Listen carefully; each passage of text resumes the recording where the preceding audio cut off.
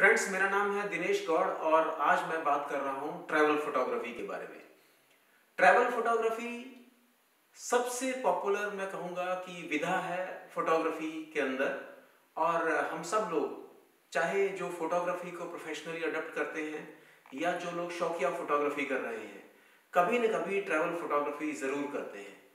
पिछले बहुत सारे सालों के एक्सपीरियंस के बाद मैं कुछ टिप्स आपसे शेयर कर रहा हूँ स्पेशली ट्रैवल और स्ट्रीट फोटोग्राफी के बारे में। ट्रैवल फोटोग्राफी में बहुत सारी चीज़ें शामिल हैं और इनमें सबसे पहला है architecture, landscape, portrait, people, street आदि आदि। आज हम camera body lenses megapixel, aperture और इन सारे टेक्निकल एस्पेक्ट्स के बारे में बात नहीं करेंगे। इसमें कोई शक नहीं कि फोटोग्राफी में बहुत सारे टेक्निकल एस्पेक्ट हैं। पर इसके साथ साथ फोटोग्राफी एक आर्ट एक्टिविटी भी है। तो हम इसका जो आर्टिस्टिक पहलू है और उसमें क्या क्या डिटेलिंग हो सकती है, या हम चीज़ों को किस नज़रिए से देख सकते हैं, हम उन सब बातों के बारे में, या उनके बारे में इतने सालों में मेरी जो अंडरस्टैंडिंग रही है, जो मैंने सीखा है, और जिस तरीके से फ़ील्ड में उन चीज़ों को हमने महसूस किया है, उन सब बातों के बारे में मैं आज कुछ टिप्स आपसे शेयर करूँगा।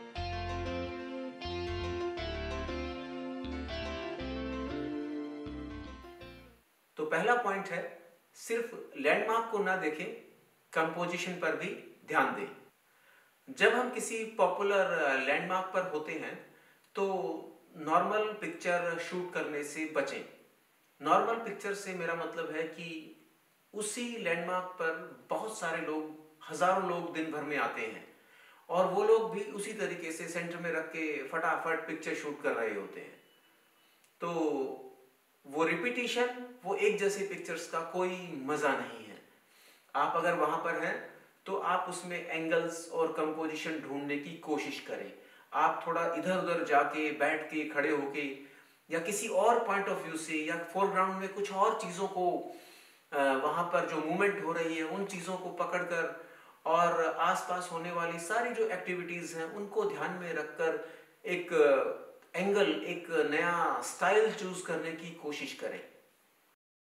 रूल ऑफ़ थर्ड को अप्लाई करें किसी दूसरे स्ट्रक्चर के फ्रेम में बांधें या किसी दूसरे प्रोमिनेंट एलिमेंट के साथ कंपोज करें और ट्राई करें प्रस्पेक्टिव लाइंस के साथ कंपोजिशन बनाने की।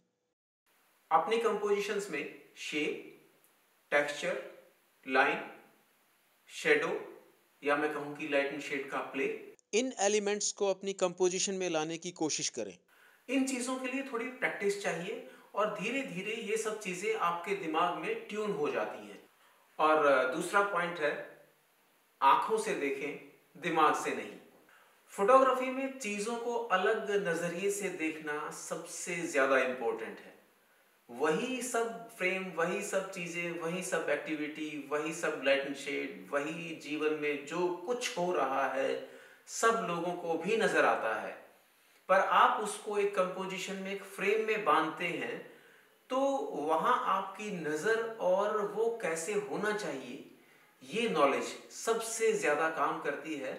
और अगर आपके पास वो नज़रिया धीरे धीरे डेवलप डेवलप हो जाता है तो मुझे लगता है कि आप बहुत अच्छी ट्रैवल स्ट्रीट फोटोग्राफी कर सकते हैं। कोशिश करें उन चीज़ों को ढूँढने की जो सब्जेक्ट को इंटरेस्टिंग बनाती हैं। या फिर आपका जो मॉडल है या सब्जेक्ट है, उसकी आँखें कहाँ मूव कर रही हैं? उसकी बॉडी लैंग्वेज क्या है? या उस किसी पर्टिकुलर स्थान पर अगर कोई एलिमेंट हम उसमें जोड़ सकते हैं, जो उस फ्रेम को या उस फोटोग्राफ को इंटरेस्टिंग बनाता है तो वो भी उसमें ऐड करने की कोशिश करें। भेड़ों के झुंड का ये फोटोग्राफ लैंडस्केप के कर्वेचर के साथ मूवमेंट की वजह से शानदार है। तो हम आगे बढ़ते हैं और हमारा तीसरा पॉइंट है, जहाँ भी जाएँ, एक कहानी को ढूँढने की कोशिश करें। कोशिश करें अपने फोटोग्राफ्स के लिए कहानी ढूँढने की, या फिर कुछ ऐसे एलिमेंट्स यूज़ करने की या ऐड करने की, कि उससे आपकी कहानी बन जाए। बनारस के घाट पर जब लड़के गंगा में जंप कर रहे थे तो मेरे फोटोग्राफर मित्र आशु शर्मा ने उनमें से एक को अपना गमछा पकड़ा दिया। और उसे साथ लेकर कूदने की रिक्वेस्ट की। और रिज़ल्ट आपके सामने है। लंबी मूछों वाले इस आदमी के पोर्ट्रेट की कहानी बदल जाती है जब फोरग्राउंड में ऊँट आ जाता है। या फिर तुंगनाथ मंदिर के इस फ़ोटो में यदि ये बर्तन नहीं होते तो ये फ़ोटो कितना फ्लैट लगता आप समझ सकते हैं। ट्रैवल फोटोग्राफी करते टाइम आप बहुत सारी ऐसी चीज़ें भी एक्सपीरियंस करते हैं जो आपने पहले कभी नहीं की। शायद अलग अलग जगहों पर घूमने की वजह से अलग अलग लोगों को मिलने की वजह से या उस पूरे एनवायरनमेंट चेंज की वजह से भी ऐसा होता है कि जो आपने पहले देखा या सुना नहीं है। तो उन सब स्थितियों के अंदर हर चीज़ पर नज़र रखना बहुत ज़रूरी है। अब मैं बढ़ता हूँ चौथे पॉइंट की ओर और, और ये चौथा पॉइंट है एक ही सब्जेक्ट के बहुत सारे ऑप्शन शूट करें पर अंधाधुंध भी शूट ना करें। ट्रैवल फोटोग्राफी का तो मतलब ही ये है कि आप जहाँ जा रहे हैं, हो सकता है कि दोबारा वहाँ कभी ना जाएँ या नियर फ्यूचर में कभी ना जाएँ। और आपको सेम कैरेक्टर शायद वहाँ दोबारा ना मिले, या वो मौसम ना मिले, या उस तरह का वातावरण ना मिले। अगर आप किसी मोनूमेंट को शूट कर रहे हैं तो वैसा स्काई ना मिले। तो इन सब चीज़ों को ध्यान में रखते हुए आप हमेशा अपनी कंपोजिशंस में वेरिएशन और ऑप्शंस ट्राई करें, ताकि आप जिस समय आपको वो अपॉर्चुनिटी मिली है, उस अपॉर्चुनिटी में बेस्ट ऑप्शंस और बेस्ट पिक्चर्स आप निकाल पाए। कुंभ के दौरान शूट किए गए इस फोटोग्राफ में साधु बाबा काफ़ी इंटरेस्टिंग कैरेक्टर हैं।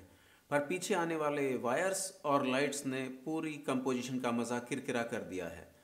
और अनफॉर्चुनेटली मेरे पास ये एक ही फ्रेम है।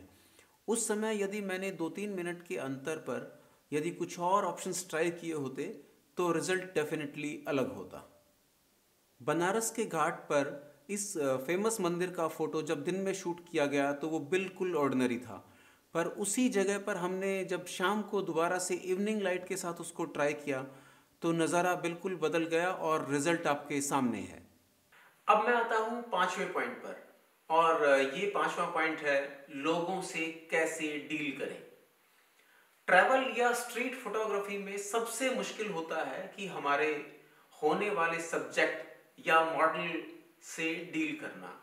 और वो भी उस स्थिति में, जब आप एक नई जगह पर होते हैं, एक अजनबी जगह पर होते हैं, और आप उन लोगों को भी नहीं जानते हैं जिनको आप शूट करना चाहते हैं। और आपको ये भी नहीं पता है कि जिन लोगों की तरफ़ या जिस सब्जेक्ट की तरफ़ आप कैमरा मूव कर रहे हैं या उसकी तरफ़ पॉइंट कर रहे हैं, वो कैसे रिएक्ट करेगा? भारत जैसे देश में जहाँ इतने सारे फेस्टिवल्स इतने सारे मेले, इतने सारे सेलिब्रेशंस आयोजित होते हैं फोटोग्राफी के लिए ढेर सारी अपॉर्चुनिटीज़ निश्चित तौर पर होती हैं। लेकिन वहाँ भी आपको थोड़ा सा ध्यान रखना है कि सामने वाला कैसे रिएक्ट करेगा। जब भी किसी दूसरे स्टेट में या किसी दूसरे कंट्री में जा रहे हैं तो वहाँ के लोकल कुछ शब्दों को पकड़ लें, कुछ शब्दों को याद रखें, जो लोगों को ग्रीट करने के लिए या उनसे थोड़ा कंफर्टेबल होने के लिए आप यूज़ कर सकते हैं। और यकीन मानिए, ये चीज़ बहुत ज़्यादा काम आती है। स्ट्रीट फोटोग्राफी में या ट्रैवल फोटोग्राफी में कोशिश करें कि अपनी नम्रता बनाए रखें। पोलाइट रहें, क्योंकि कहीं भी झगड़ा करने से या अपने आप को कुछ दबंग किस्म का व्यक्ति दिखाने से कुछ हासिल नहीं होता है। अगर लोग ऐतराज कर रहे हैं तो आप स्माइल करते हुए वहाँ से हट जाएँ। मुझे उम्मीद है दोस्तों कि ये टिप्स जो ट्रैवल फोटोग्राफी पर मैंने आपसे शेयर करी, ये आपके अगले ट्रिप पर ज़रूर कुछ ना कुछ काम आएँगी और आप ज़्यादा बेहतर फोटोग्राफ शूट कर पाएँगे। Thank you